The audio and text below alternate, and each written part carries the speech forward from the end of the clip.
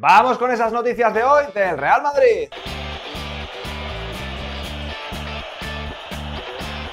¿Qué pasa chavales? Bienvenidos a un nuevo vídeo en el que os traigo las novedades del Real Madrid porque Sergio Ramos ha vuelto a hablar y ha vuelto a explicarse de qué ocurrió con esa tarjeta amarilla en el campo del Ajax. Vamos a hablar de eso y de varias cositas más, pero antes te recuerdo que si es que no lo estás, te suscribas a mi canal para tener los mejores vídeos diarios del conjunto blanco. Empiezo con algunas novedades que ya tenemos de cara a ese partido dentro de un par de días contra el Girona en la Liga en el Santiago Bernabéu, en el que el Real Madrid, pues bueno, vamos a ver qué tipo de equipo selecciona a Santiago Solari, ya que entramos de nuevo en una semana en la que, bueno, de nuevo no entramos en una semana anómala comparada con las últimas, ya que el Real Madrid va a tener eh, completo periodo de descanso, porque no tiene partido de Champions League ni de Copa del Rey. Mañana, en el vídeo de mañana, analizaremos más en profundidad ese encuentro, pero bueno, deciros que el fin de semana, pues a priori no parece propicio para seguir recortando puntos en la liga, ya que Barcelona y Atlético de Madrid juegan mañana sábado en el campo del Rayo Vallecano, el Atlético, y en casa contra el Valladolid, el Barcelona. Así que imagino que será una eh, jornada sin muchos sobresaltos en sentido.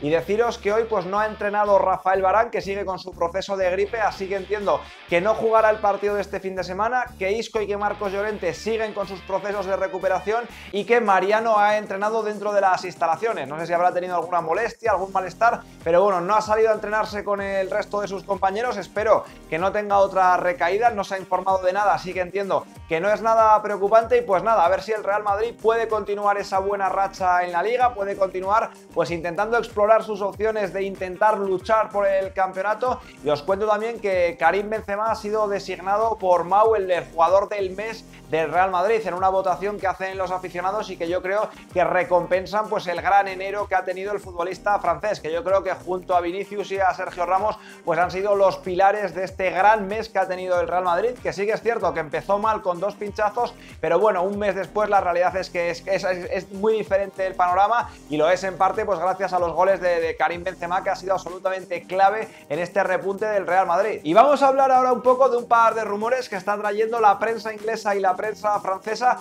El primero tiene que ver con un futbolista que ya está en el Real Madrid, que es Gareth Bale y que según el periódico The Times, probablemente pues el más respetable en cuanto a información deportiva en Inglaterra, aunque es un periódico generalista, pues dice que tiene la idea de quedarse en el Real Madrid independientemente de las ofertas que tendría de Chelsea y de Manchester United que estaría dispuesto a rechazarlas. Yo aquí el tema de, Gareth Bale creo que es bastante poliédrico, vamos a ver cómo acaba su temporada, en qué punto del escalafón está, pues ante el crecimiento de, Vinicius, ante lo que parece que es que se está quedando un poco Asensio, pero veremos cómo acaba el curso. Y pues él mismo si acaba siendo titularísimo, si no acaba siendo titularísimo, pero bueno, yo entiendo que el futbolista está muy a gusto en el Real Madrid, que son ya pues prácticamente seis años los que lleva en la capital de España, que va a cumplir 30 y ojo, porque irse aunque fuera de cabeza de cartel a dos proyectos que en los últimos años están siendo tan inciertos como Chelsea o Manchester United, pues yo entiendo perfectamente que el hombre se quiera quedar en el, Real Madrid, donde, donde ya es leyenda y donde creo que puede seguir siendo muy importante. Veremos también en qué parte queda la decisión del club,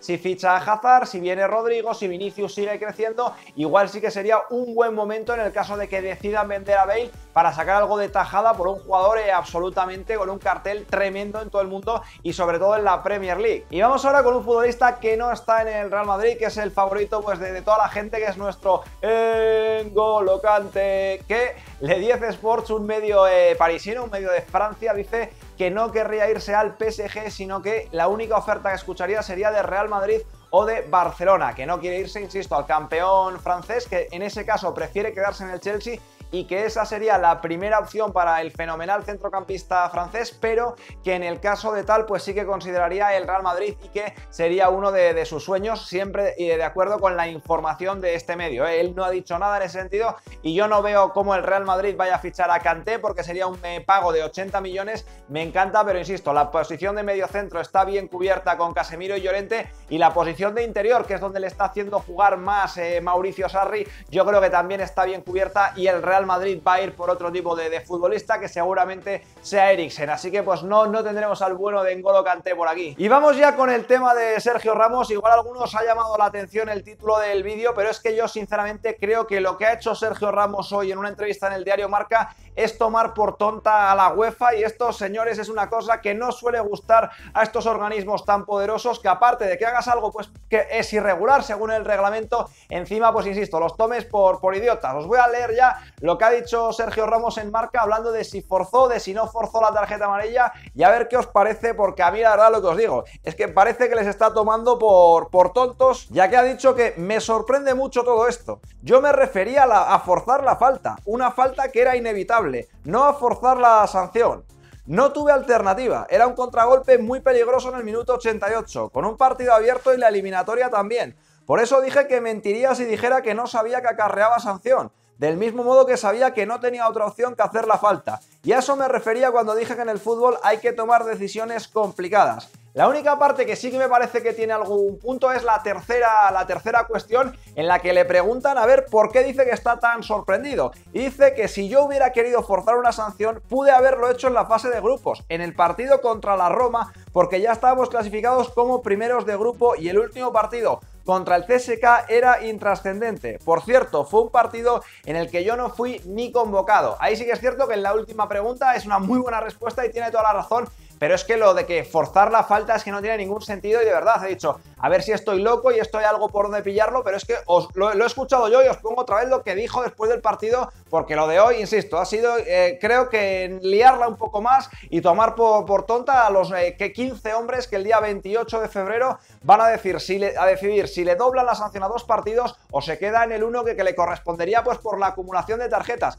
Pero es que esto fue lo que le preguntaron y esto fue lo que dijo. ¿Te gusta zanjar los temas siempre? ¿Has provocado la tarjeta o no? para que se quede bien claro. Bueno, sí, la verdad que viendo el resultado te mentiría si te digo que ha sido...